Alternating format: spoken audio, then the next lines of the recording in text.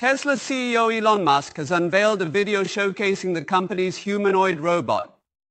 It is capable of carrying out routine household actions in a smooth and natural manner. What's remarkable is that this robot was able to learn its movements just by watching video footage. Elon Musk praised it as the greatest product ever created. Here's Kim Tae-il with the report.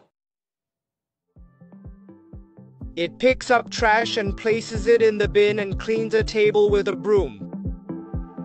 It smoothly opens a microwave and draws the curtains closed.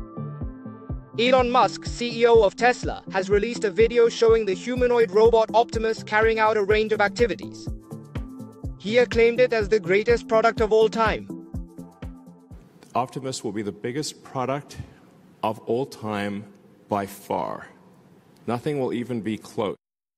The developers clearly explained that the robot learned by closely observing filmed human movements. They emphasized that commands were given in natural human language. Currently, the US and China are competing for dominance in the humanoid robot sector. China, which held the world's first humanoid robot half marathon, is set to host another competition in August. China is also scheduled to host the world's first humanoid robot sports competition this coming August.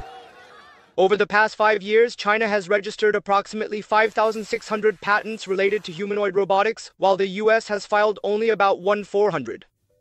In Korea, major companies like Hyundai Motor Group and Samsung Electronics are accelerating their robot development efforts. This clearly indicates growing speed. Even so, there's no established market. In other words, by swiftly catching up now, we genuinely believe significant opportunities will arise to successfully compete in the rapidly emerging humanoid robot market. Leading experts recommend that we should maximize our capabilities immediately, beginning right now. This is Tae-il Kim with MBN News.